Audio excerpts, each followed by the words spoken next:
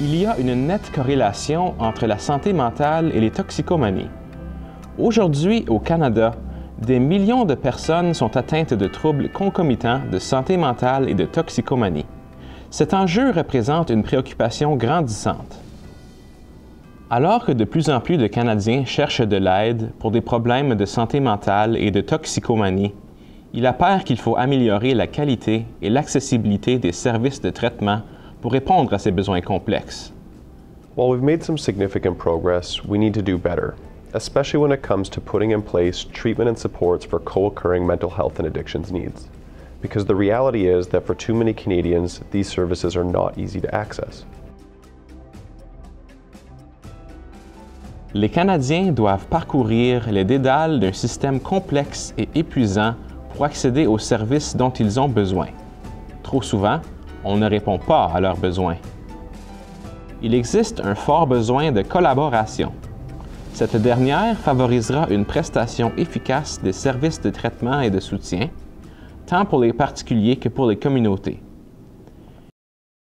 Au Canada, certaines autorités ont reconnu ce besoin et ont entrepris les mesures nécessaires pour bien combiner les services de santé mentale et de toxicomanie. Todd Leader is here to talk to us about what successful collaboration looks like in Nova Scotia. When it comes to these psychosocial and behavioral and emotional kinds of issues, we have to start to recognize that it's a whole person and those pieces are integrated. From an administrative perspective, uh, people automatically jump to the structural piece and think that as long as you put those two programs together under the same director, then you're integrated and things will just happen.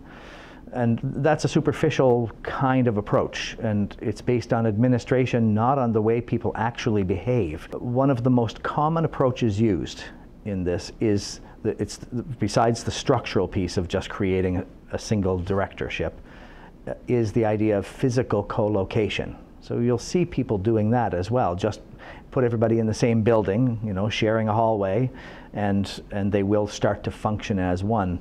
But uh, there's no evidence to support that. But the real work of creating uh, true integration actually happens at a social psychology level.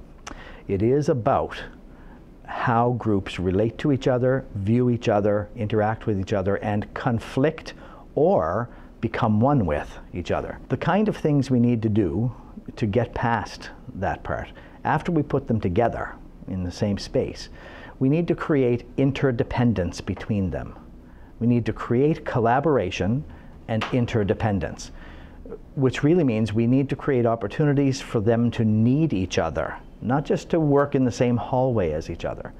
That interdependence actually helps them change their definition of who is us and who is them.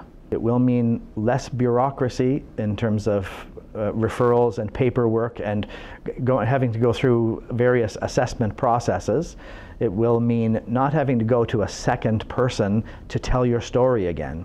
By integrating, you know, at, at a superficial level, we got to say, well, what would be best for the client? A single client. And it would be a single phone number. Quite simple. No confusion, no stress trying to figure out where to go. A single intake system with nice people on the phone to talk to and, and who can make sure that they get the treatments the treatment that they need for their variety of issues for their combination of issues. Uh, being able to see one person one therapist and unless there was some level of complexity or uniqueness that required more intensive work then that one person is all you would need to see. And so for a client to be able to come in and just see the one person and not have referrals and not have multiple appointments and not have to tell my story to two strangers instead of one. You know, from a client perspective, that is a miraculous change. Récemment, le Centre canadien de lutte contre les toxicomanies a établi un partenariat avec le Conseil exécutif canadien sur les toxicomanies et la Commission de la santé mentale du Canada. Cette collaboration avait pour but de consolider les connaissances et de dégager un consensus sur les approches et les stratégies efficaces pour améliorer la collaboration entre les services en santé mentale et en toxicomanie. Ce partenariat a mené à la publication du document intitulé Collaboration pour les soins en toxicomanie et en santé mentale, meilleurs conseils, ainsi que d'un recueil en ligne d'outils et de ressources favorisant la collaboration. Les deux ressources peuvent être téléchargées sur le site web du CCLT.